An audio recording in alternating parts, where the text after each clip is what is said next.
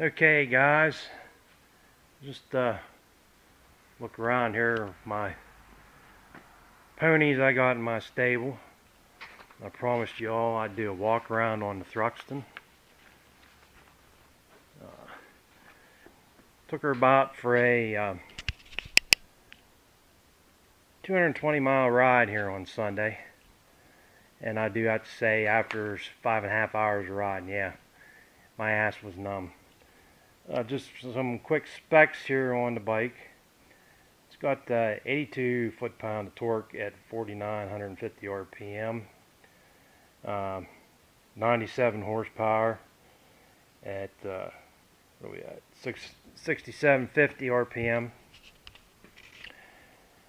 Uh, the suspension it has. Let me see here. Got the 41 millimeter uh, Kayabas in the front, 120 millimeters of travel, and the Kayaba twin shocks with adjustable preload on the rear, the same uh, wheel travel. It's got twin 310 millimeter discs on the front, floating calipers. Uh, they're Nissin two piston ABS, single 220 millimeter disc on the rear, Nissin also ABS. Um, it's got 17 inch wheels on it, front and rear. Uh, rear's 5 inches and the front's 3.5. It's got uh, Pirelli Angel GTs for tires, 3.8 gallon gas tank. Um, did really well. It, it's averaging around 54 mile a gallon. Like I said, only got 360 miles on it or so now, I think. Um, okay, uh, just want to show you here quick while we're in the garage. Um, it's got this really cool parking light. You have to turn the key to the furthest setting. It's uh, that's the only time you can have it on by itself. Um, it's not on in the in the on position. Um, and also the rear tail lights on as you can see that's LED um, just wanted to give you the breakdown here. Inside I'm going to push it out and uh, go over here a little bit better. Okay here we got her outside. Uh, like I, said, I like the white and black. It's uh, just seems a lot cleaner to me and it looks more old school. Um, has this just the regular factory exhaust on it and it sounds really good especially if you're lugging it. I mean them pipes they start barking. Sounds really well. Um, there's the throttle bodies that look like carburetors I think they look pretty sweet. I just they have the new different covers you can get. I think I'm gonna get get them for on it I said, there's not a whole lot I want to do on this bike. Um, I just, I like the look of it the way it is. Um, like I said, about 220 miles on Sunday.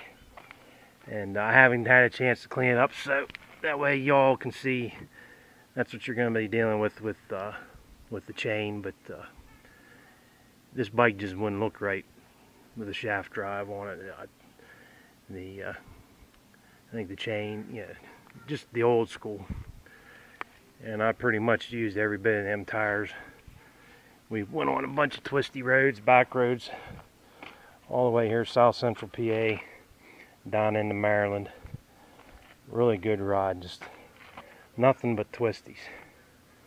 Um, as you can see, the radiator, they have it uh, engineered, designed pretty well that you know, blends in can't really see it.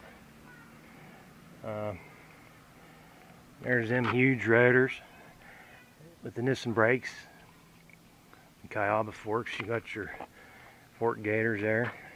Um, like the uh, bar-ended mirrors.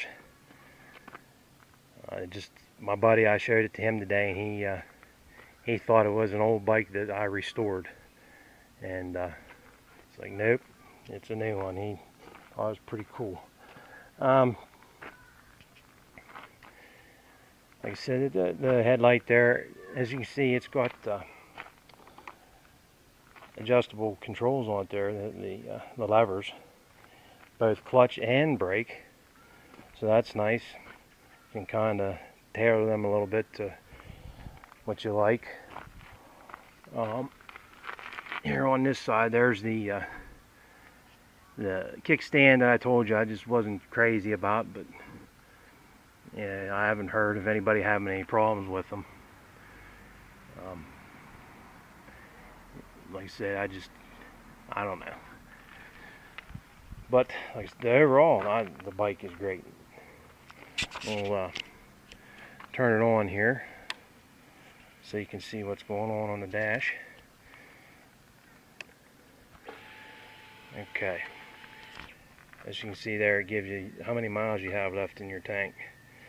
Um, and then also, you got a graph down below that for your fuel level. Uh, it tells you if you're in road mode.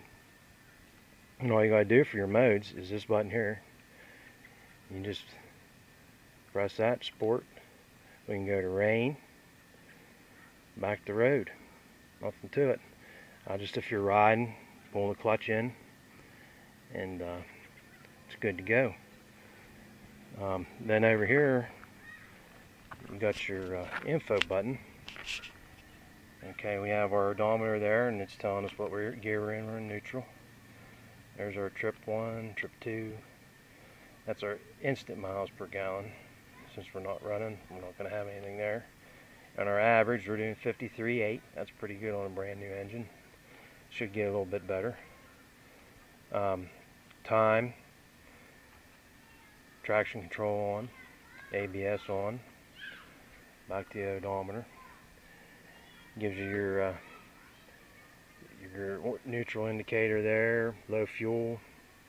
Got your ABS and other gauges here, oil pressure, check engine light, um, high beam is over here, turn signal indicators.